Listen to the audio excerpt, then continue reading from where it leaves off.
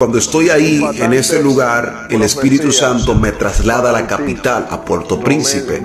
Me estoy guiando por el Espíritu, pero estoy discerniendo que es ese lugar, que es Puerto Príncipe, que es la capital. Cuando estoy en la capital, puedo ver que hay un altar y el Espíritu Santo me habla claramente y me dice, ese altar es el que gobierna la nación completa. Créeme, nunca he ido a Puerto Príncipe, no sé ni cómo es, pero veo que el Espíritu Santo me dice, este altar es el que gobierna la nación completa. Pero cuando vi el altar, también pude ver como a la mano izquierda a un personaje que usted lo ha visto, a este señor que está acá. Este señor lo veo en la visión con un grupo de personas, que es un grupo de banda, que lo pude ver a él en el centro de la banda.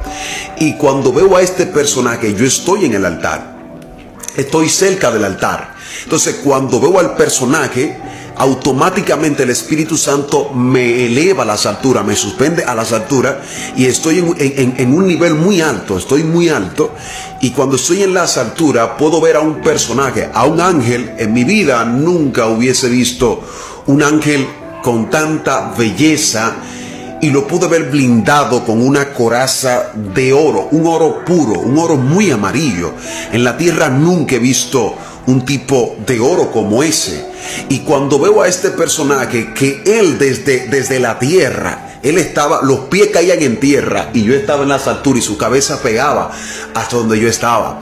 Y cuando estoy ahí, el Espíritu Santo me dice automáticamente, es el arcángel Miguel Créeme que cuando el Espíritu Santo me dijo, es el arcángel Miguel, yo veo a un ángel hermoso y lo veo blindado de, un tipo, de un tipo de oro. Nunca he visto un oro así, he visto un oro blanco, pero el oro que vi era un oro muy, muy amarillo.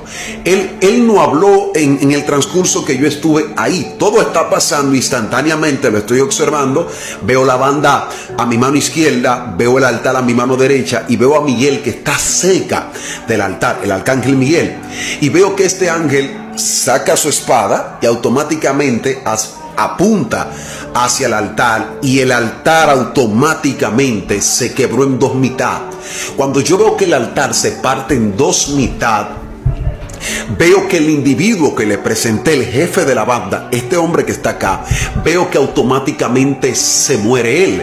Cuando Miguel extiende su mano hacia el altar, veo que el altar se parte en dos mitad. Y créame que cuando yo observé esto, yo me quedé asombrado porque hubo una revolución instantáneamente. Pude ver, oye, el país en donde yo, en, el lugar donde yo estaba de Haití, era un lugar muy pobre. Era, era tan pobre que las casas no tenían techo normal, sino que tenían hoja de palma.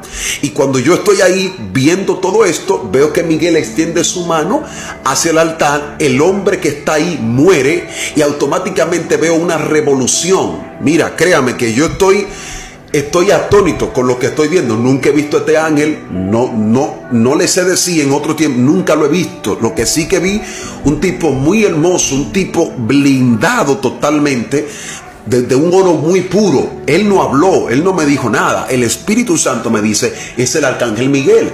Extiende su mano hacia el altar, el altar se quiebra y el hombre que le presenta el jefe de la banda, automáticamente este hombre muere. Y cuando veo que este hombre muere, vi que esto fue, eh, esto fue de la noche a la mañana, una revolución en todo el país completo.